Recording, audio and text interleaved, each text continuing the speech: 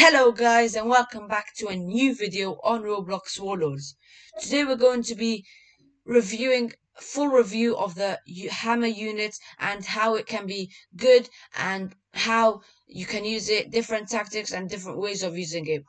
In this video I will be going through the best ways to use it and when and how you should attack the enemy and um, what the main job of this unit is the hammer.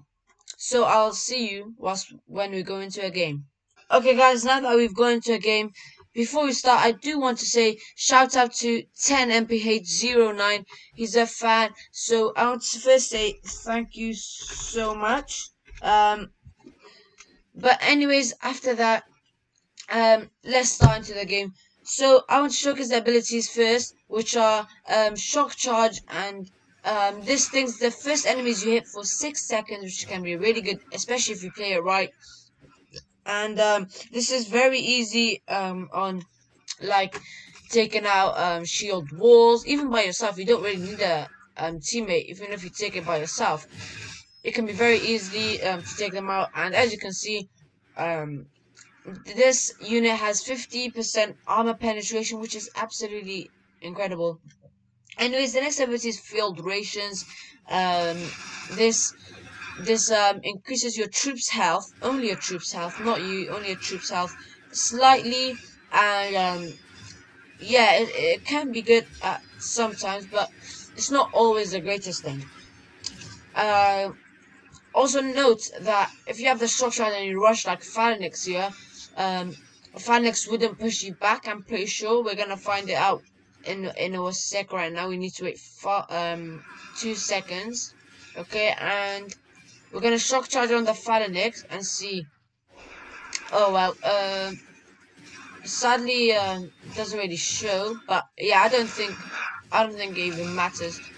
Um, the phalanx do not push the hammer units, which is very good, very good to know, and that means it's like anti-phalanx.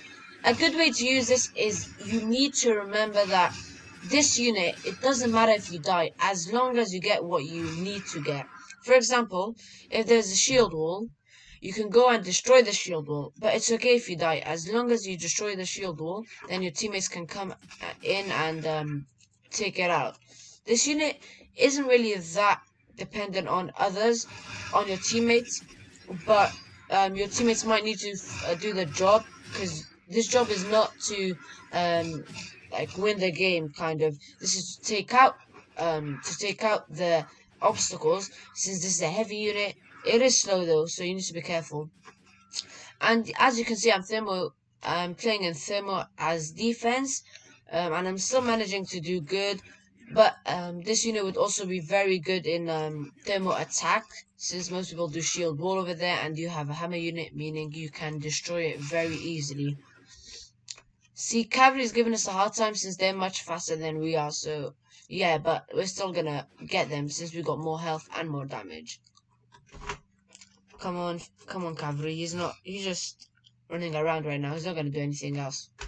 Okay, guys, so that's gonna be it for this video. I hope you enjoyed, and if you did, please make sure to drop a like and subscribe because we are very close to hitting 1,000 subscribers, and I think we can do it in the next three days.